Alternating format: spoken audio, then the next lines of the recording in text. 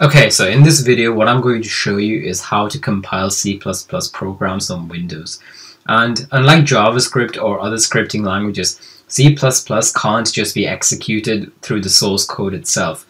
What we have to do is take the human readable source code and then compile it into machine code, which is binary or 010101 like that, into an executable file that the program that the computer can then run. So in this video, I'm just going to be showing you how to set up um, a C++ compiler on Windows so we can write C++ code and then create executable files from it. So the C++ compiler that we're going to be using is called um, G++ and by default it's not available on Windows but there is a version of it that's been written for Windows. And you can get this from this uh, website called WinLibs. And all you want to do is just go down to here and then go for the latest version. GCC and G++ are the same thing, by the way. And we do we just want this without one, and we want the Win64 one. And you just want to click on zip archive right here. And you just want to download this somewhere, and that will start saving it. And these this file will be quite big because um, it contains a bunch of data. So it's like it's essentially basically the compiler as well as a bunch of header files and basic libraries that we need for C programs. So it will take some time to complete and we just have to be a little bit patient.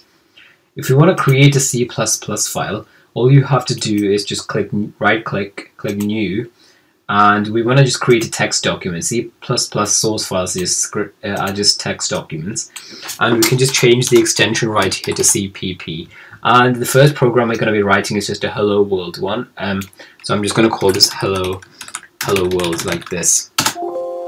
And just press yes here. And that's the C++ program right there. And now if you want to edit this, you can just open this up with Notepad or you can open it with another editor. So I'm just going to be using a Visual Studio Code here. And this is our C++ program space right here. Now I'm just going to write out a quick program here, but I'm not, and I'm not going to explain this one because the purpose of this video is just about how to compile and run it. So um, just I'll explain all of this in a separate video, but for now I'm just going to write a simple program, and all this program does is it prints this string here, hello world, to the terminal or whatever the output is. So that's my C++ program right here. And you just want to wait for this to finish. It's almost finished now. Right, so once this compiler is downloaded, what you want to do is just extract it somewhere. And the place where I'm going to be extracting it is this. Um, uh, you can extract this anywhere you want, but I'm going to be extracting it to D and then development, this folder right here. And it's called MinGW64, and you just want to drag this over and that will install the program there.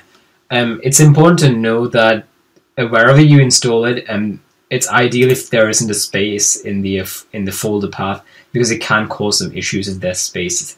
So ideally you want to avoid that. So this one right here has no spaces, so we should be okay. So that's almost ready. So we just have to wait for this.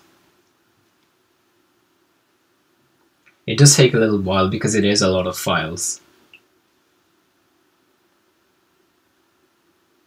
Alright, so now that we have it here, the program that we actually need to be able to compile C, it's in bin, and it's the program called G++ right here, this program right here. And by default, we only have access to it from this folder, because if I open the command prompt right here, then put, just put G++, it says G++ is not recognized. And the only way to access it right now is by changing directory into this folder. But we're going to add this to our path file. And this path file basically tells it to look here for executable programs.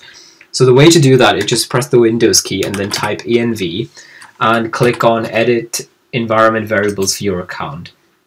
And then click on path and then click edit right here.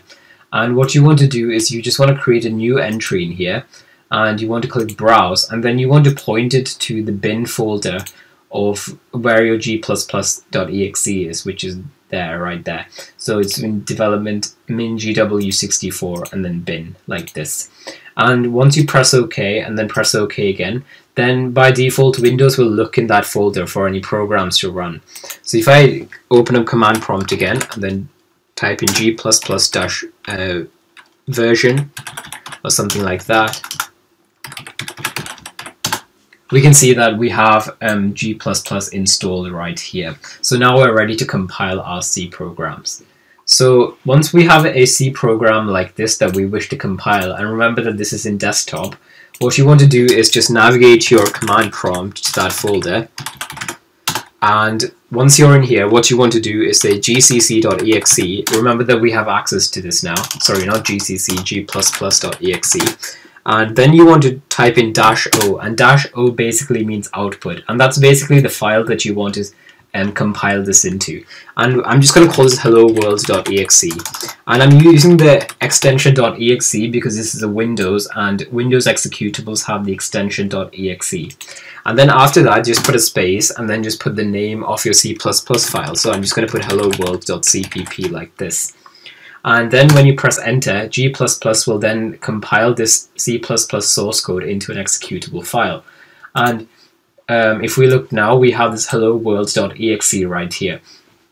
And you can just double click on and open it to run, but it will just close out straight away, and that's because it'll be finished straight away.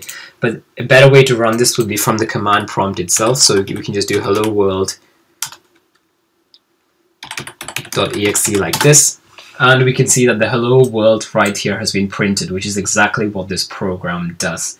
So yeah, that's how you um, set up your Windows operating system for compiling and executing C++ programs.